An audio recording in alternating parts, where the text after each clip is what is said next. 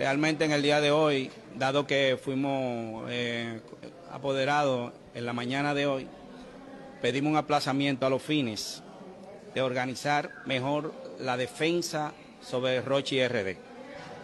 No queríamos apresurar y conocer una audiencia sin tener los elementos necesarios para que Rochi consiga su libertad lo más pronto posible. Los presupuestos son indispensables en la medida de coerción.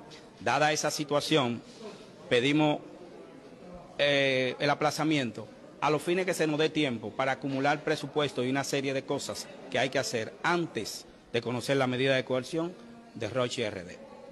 ¿Para cuándo fue aplazada? Fue aplazada para el domingo. ¿A qué hora? 9 de la mañana. ¿Qué esperan que suceda con ellos? Porque solicitan, ¿qué solicitan? La, la... Bueno, el Ministerio Público solicita lo, solicita mismo que solicita en todas las medidas de coerción. Donde hay una cintila, el- ellos solicitan la número 7, la más gravosa de- en cuanto a las medidas.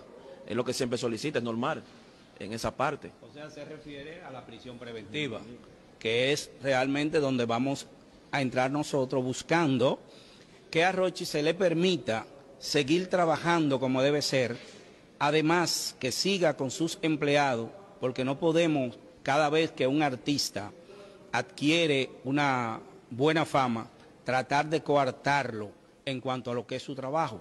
Tra- Vamos a trabajar en eso en la semana y el domingo entendemos que es posible probablemente tener a Rochi nuevamente ajustado a sus asuntos laborales. A eso, eso pretendemos. Buscan variar la medida. Buscamos variar la medida. O no buscamos variar la medida. Buscamos que a Rochi no se le dé la prisión preventiva.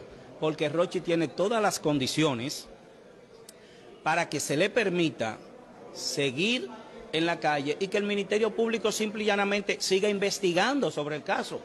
Porque Roche en estos momentos se encuentra revestido de la presunción de inocencia.